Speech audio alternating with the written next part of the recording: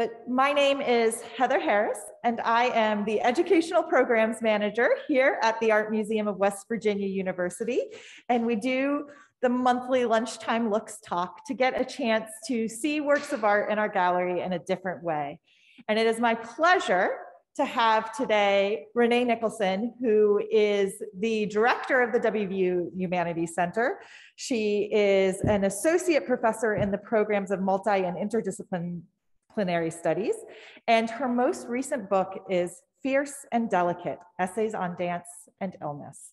So thank you so much for being here today, Renee, and I'll turn it over to you. Thanks. so uh, in order to um, appear completely spontaneous and very natural, I have written out all of my remarks ahead of time. Um, first, I'd like to thank the Art Museum of WVU for having me today. Um, and also for the time and the care that they put into all of their exhibits and events and uh, Musing Today on Place, having such a place on campus like this is truly a blessing. And today, in hoping to forge some connections between art and writing through place, I hope we might also celebrate this space that we're in together, whether here uh, in person or virtually. For its amazing uh, potential to transport us from our everyday lives into moments of creativity, beauty, and ideas.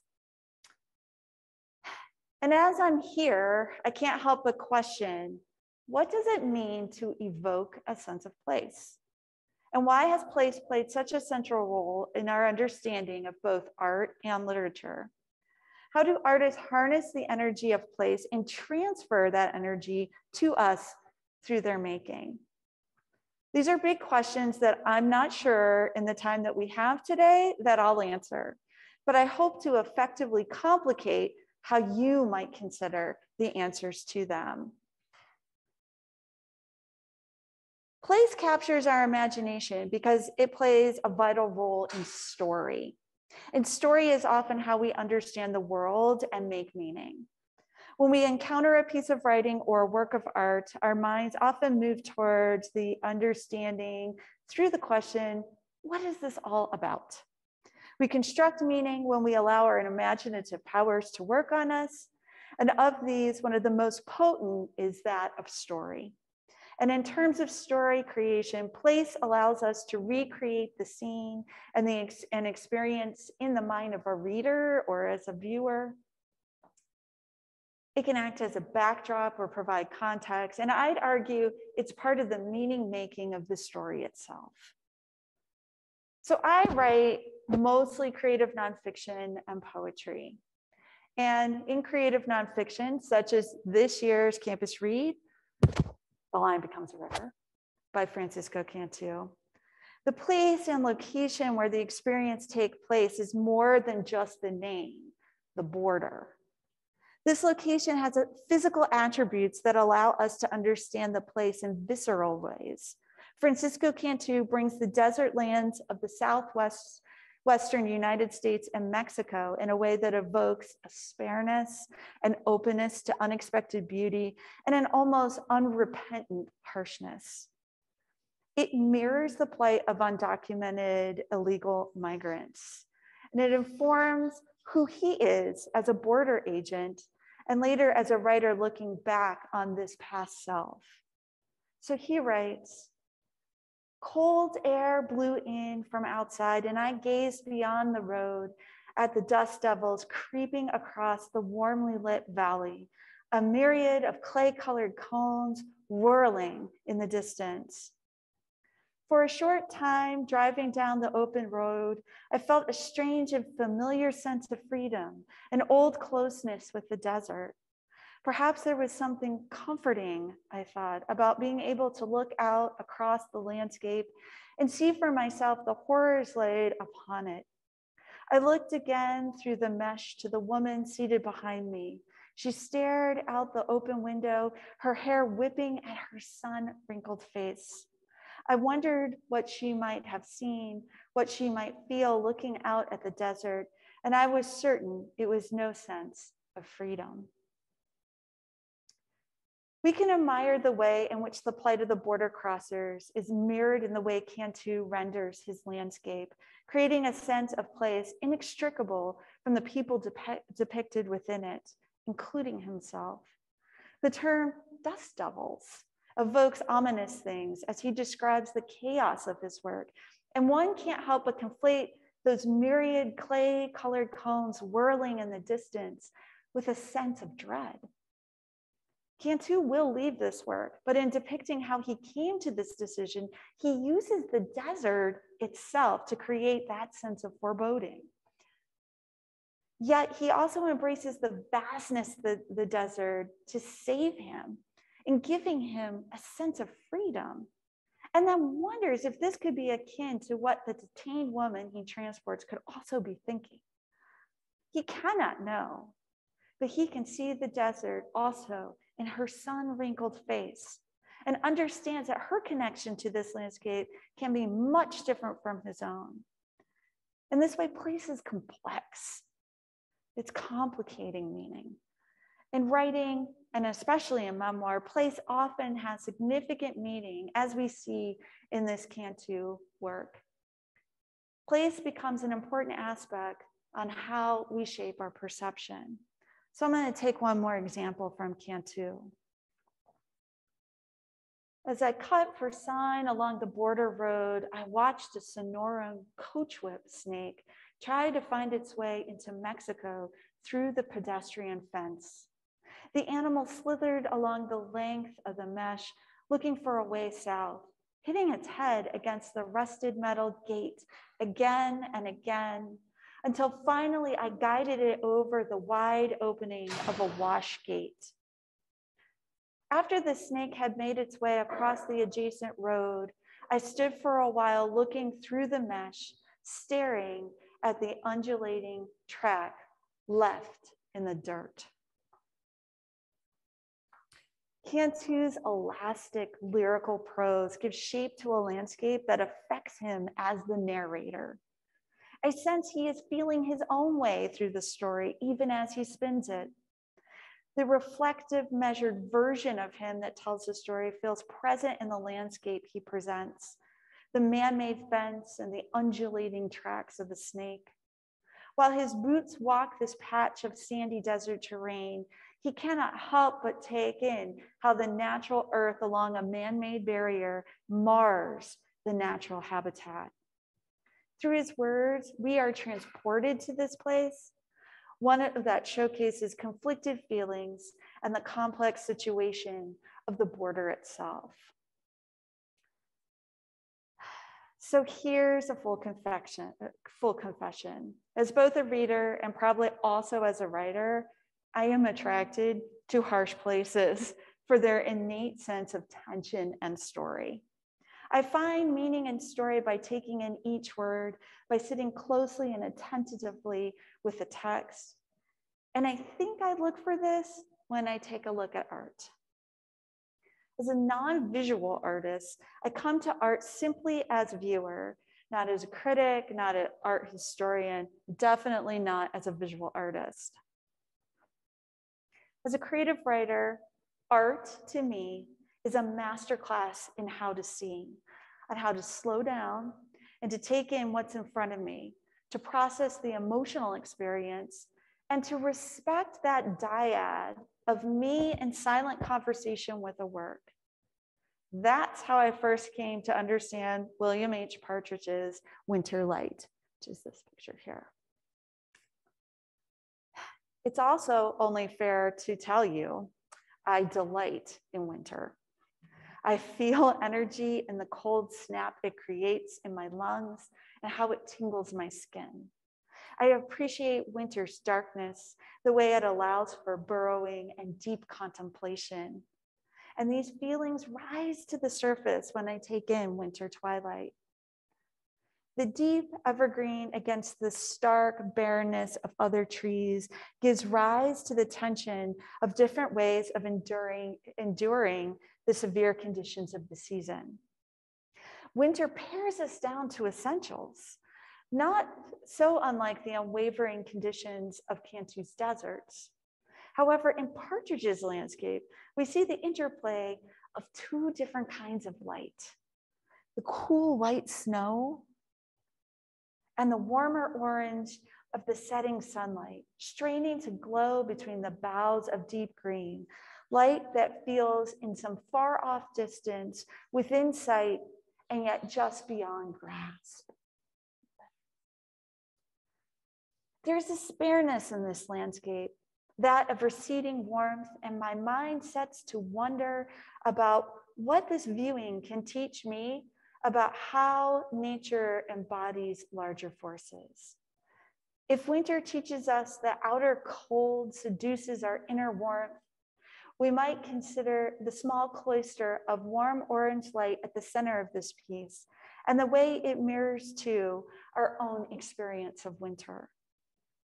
In places, more diffuse yellow peeks out from the branches, the struggle of lightness and dark, of warmth and cold, depicted in these brushstrokes. Tension, too, seems, to, seems part of the snow itself. Its light color antithetical to the heaviness it portrays. And it's no wonder we often use the word blanket to portray how snow has fallen and settled on the earth. In this way, winter twilight helps me parse the way we use language to describe and understand the natural world. To blanket can be both to swaddle and to smother. And we and can't we feel that tension uh, between these in the picture itself? A picture both pastoral and embracing a natural austerity that, if not exactly menacing, then vaguely inhospitable.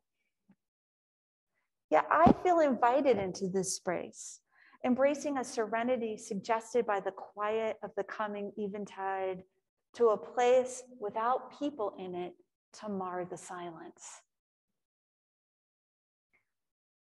When I come to place as a writer, it can be both setting and character.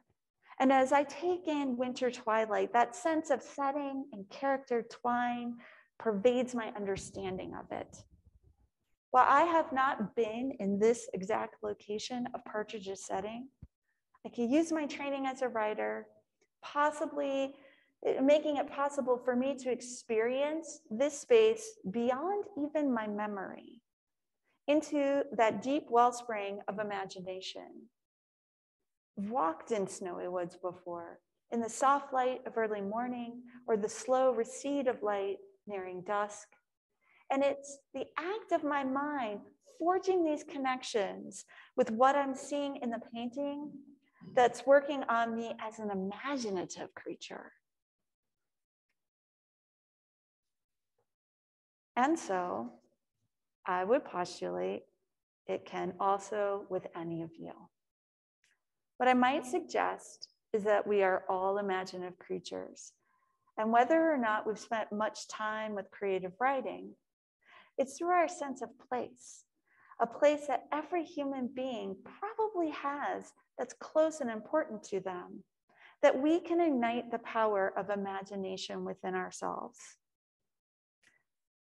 As I have learned over many years of writing, places themselves and depiction of them in words and image can have a shadowing effect on our own consciousness. So that when we allow ourselves to write after reading or viewing art, we write in the shadow of these texts. And that on some inexorable level, they work on us, informing our responses in ways that shape meaning. And I would ask if you felt unafraid to write about this picture, what might appear in your mind's eye and be transposed onto the page? Let me return a minute to The Line Becomes a River. In Cantu, his final complex view of the border itself is reimagined through the Rio Grande River. He writes,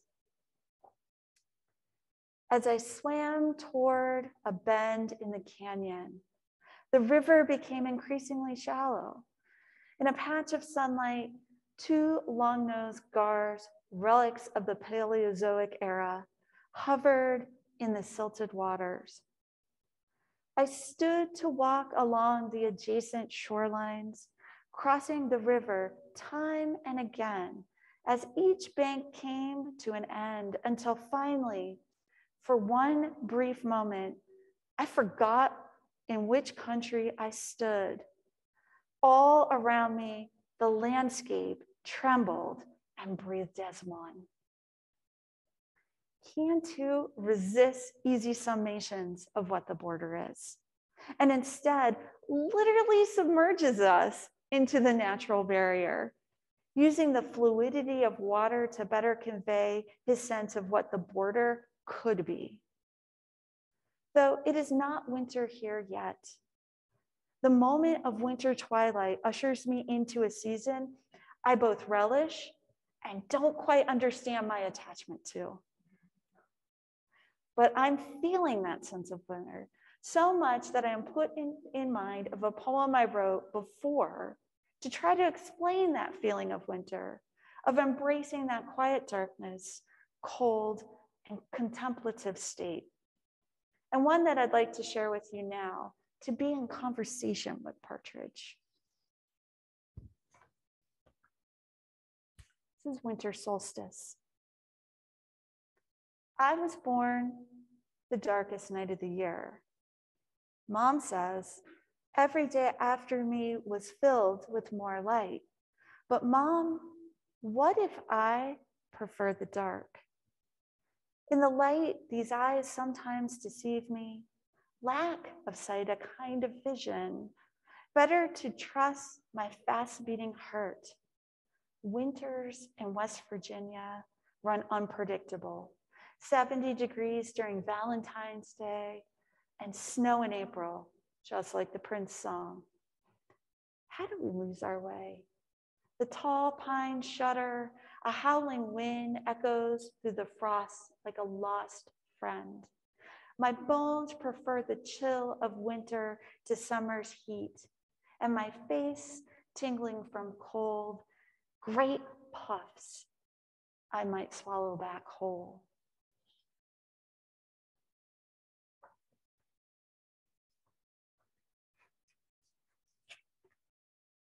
There is something about winter that clarifies my sense of seeing, that crystalline quality that attends the cold, perhaps the thing that pulls me towards it. Partridge captures it so effectively that by just viewing his painting carefully and patiently, I am able to access those things about the season that unlock my potential for place and story making. What sparks endure as the world is frozen? Right? Sparks there that endure as the world is frozen. For me, this is imagination distilled. The white blanketing of the earth is canvas, perhaps in some small way, sim- a similar impetus as the desert and the river are for Cantu. These places allow us to dig deep into our experience, not just for story, but for lyric possibilities. The right depiction in art pulls us out of these sensibilities, these things that live and exist in me as a writer, as a person. And in this way, the potential of place is layered, unpredictable, and therefore quite hard to pin down. And yet, artists across forms and genres harness this sense of place and pull us in, giving us footing, both literal and metaphorical, as a way of seeing, and I would also argue as a way of being in the world. Art has its own language, and for me, not all of it is in the familiar tongue. But sense of place helps me to bridge that gap and the specific rendering gives me a worldview to explore and parse, to engage with collaboratively and imaginatively. And most of all, it unlocks the potential for wonder. And can't we all do with a little more wonder? We can understand place in both writing and art as inviting us in to a kind of spirit, contact with a unique identity and energy, and perhaps even a kind of soul. When we come to understand place through our interactions with art and writing, we access an inexhaustible, inexhaustible source of creative power. And this is our charge. In this way, we are all explorers. Thank you.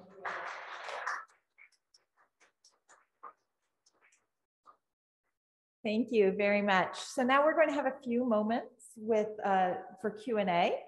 For those of you who are here in the live audience, I will be repeating your questions into the microphone so that they can be audible to the folks that are um, joining us online.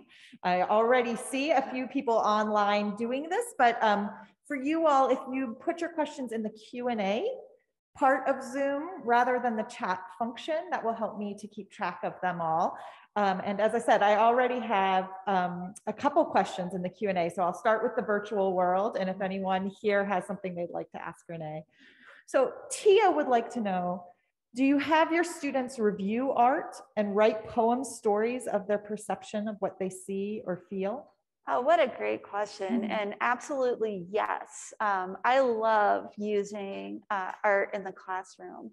Um, I use it with creative writers, but I often teach creative writing to people completely outside. And I find that art is a way to bring people in. And particularly, I use this in a class that I've taught uh, several times and hope to teach again called Medicine and the Arts.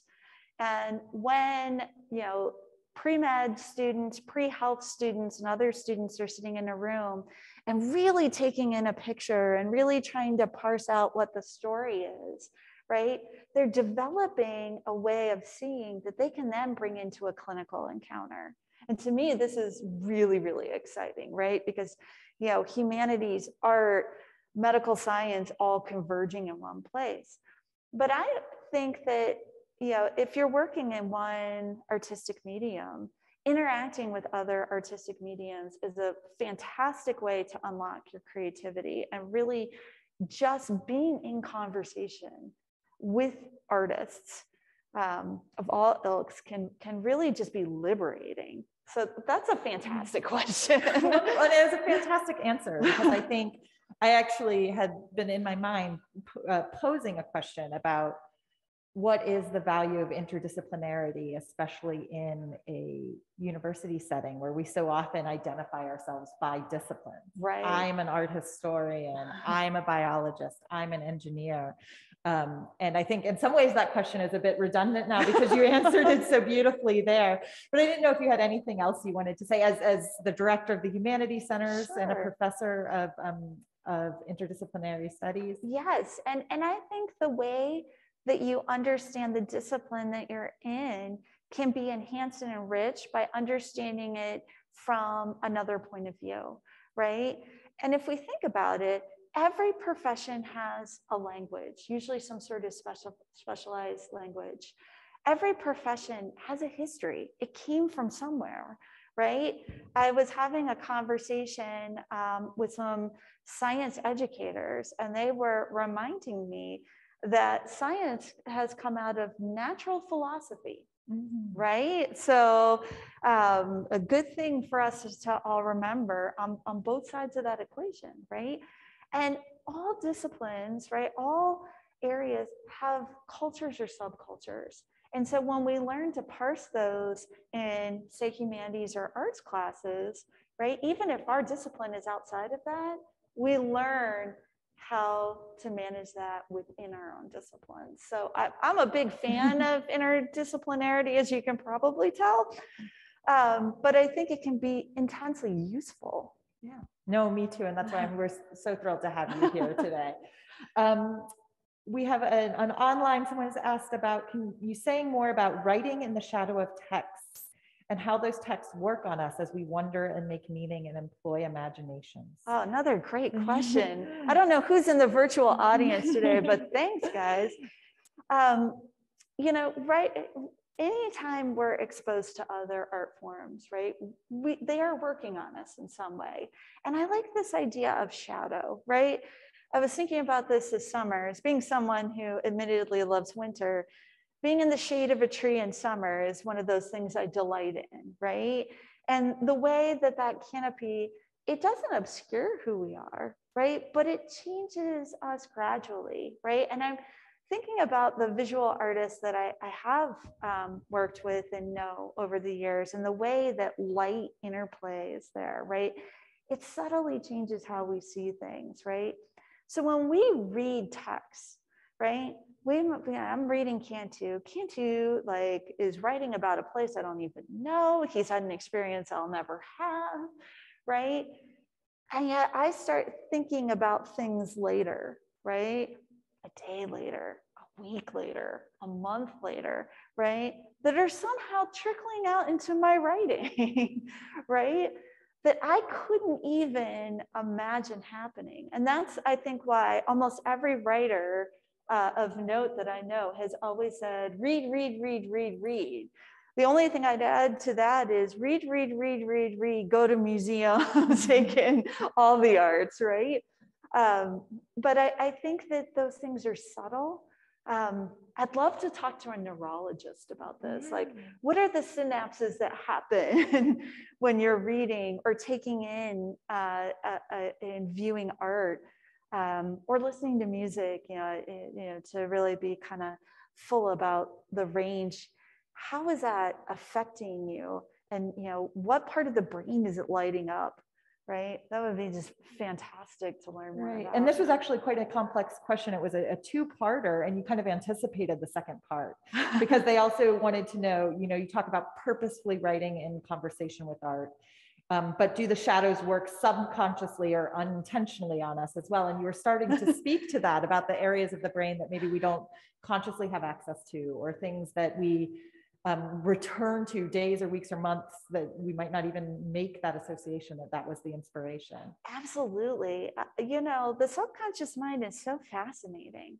And I think that when we just are quiet and still, we allow it to do what it does best, right? Which is to influence us in these very cool, um, very creative ways.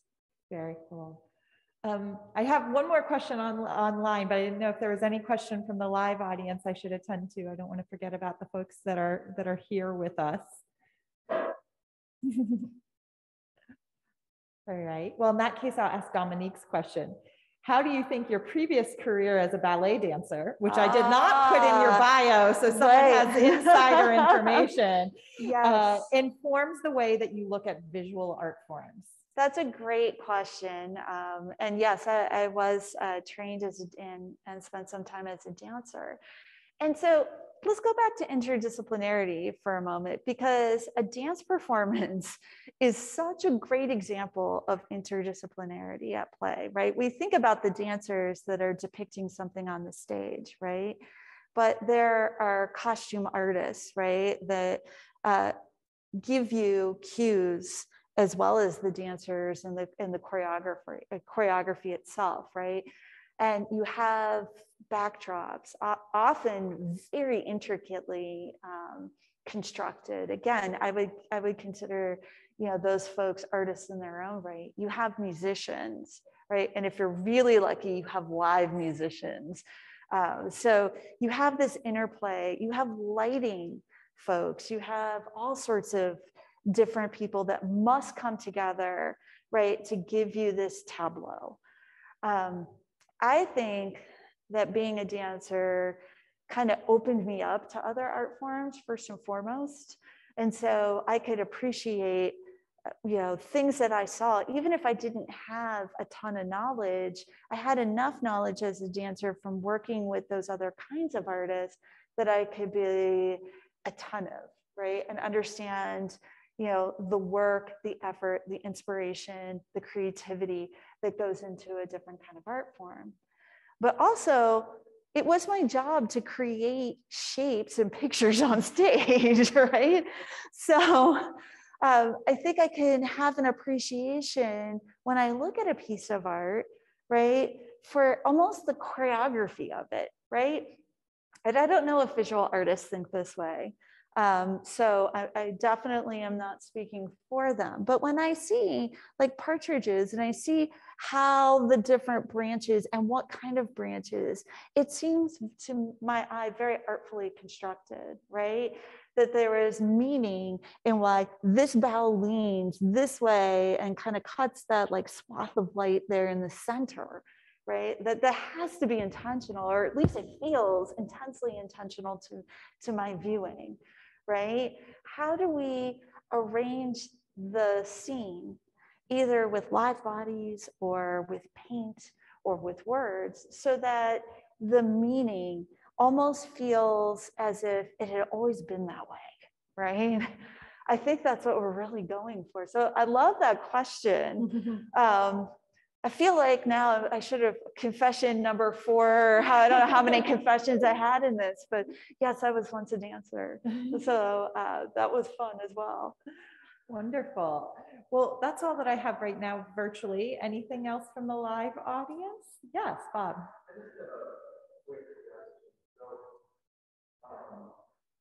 I'm interested in your uh, selection process.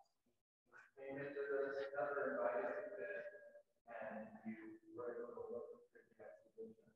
Was it purely the snow or what was the part? And I'm going to repeat that into the microphone for the outside audience. So uh, Bob Bridges is our curator um, and is always thinking about selections of art. So he wanted to know um, from Renée's perspective, after I invited her in and invited her to give this talk, what drew her to the Partridge? What was the selection process? of everything that is here in this gallery now, our exhibition, uh, Trees on the Mountain, uh, Trees on the Mountain, Landscapes from Appalachia and Beyond. Yes. What, what drew you to the Partridge? Um, I would have to say the very first thing was that glowing light in the mm-hmm. center. I mean, as much as I love the winter, and I, I do, right? Uh, I mean, I have a pair of boots that are ready to mar up that snow, right? I want to get out there in it. Um, that light. It's, it's almost like that out of reach, you know, that thing that you see that's just beyond your grasp. I think that's what really drew me to it. And honestly, there were many, many other, um, you know, paintings here that uh, got my attention. Um, I mean, you could have a whole series of talks just on each one of these, probably with a different writer, and, and, get completely different ideas about it. But this one, you know, why does something speak to us is a really interesting question, right? And and there's a magic, there's a certain amount of magic that like says, I don't want to really get into that. But then, of course, the other part, the writer part of my brain is you totally want to get into that. um, I also think um, you know, it is pastoral, but deceptively so. you know, when you when you start looking at it, it, it's kind of like Hemingway's sentences, right? They're so simple that that that true like next level meaning is sometimes obscured, right? Or the way that like a really good line break in poetry forces you to stop and pause like you can't even help yourself, right? And so when I look at this, I'm like, I'm drawn to it. Now, why am I drawn to it?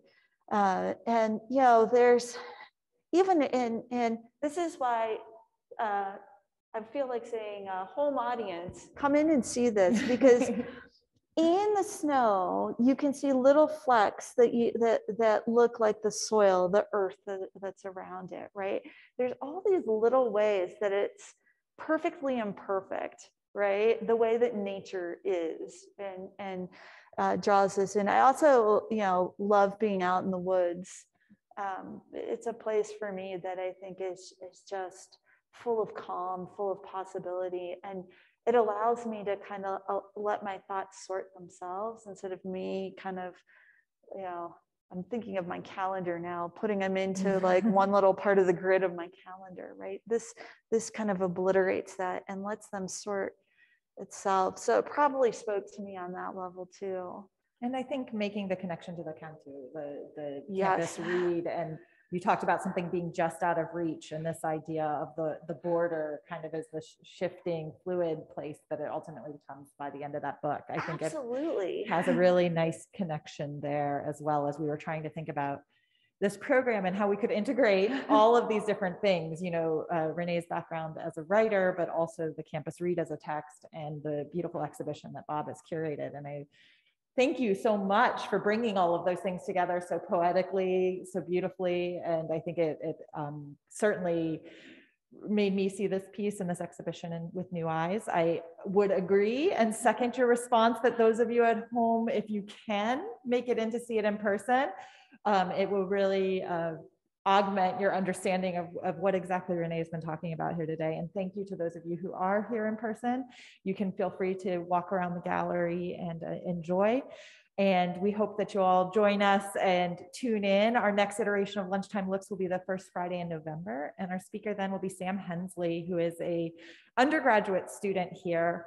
And he was a intern for us this summer and we're so excited to kind of get the student perspective. One of the things we try to do in Lunchtime Looks is bring an interdisciplinary perspective. And while Sam is an art historian, he brings kind of a generational perspective that is different from a lot of our speakers. So I think it'll be really exciting to hear him uh, reflect on the Rauschenberg exhibition that we have upstairs through the lens of his work here this summer.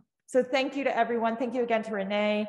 Thank you, Jason, who's on the production team at the College of Creative Arts, who's made us all audible. For those of you at home, it's, uh, it's a Herculean task to do that, and it's beyond my scope. So thank you very much, Jason, and everyone have a wonderful day. Thank you for joining us.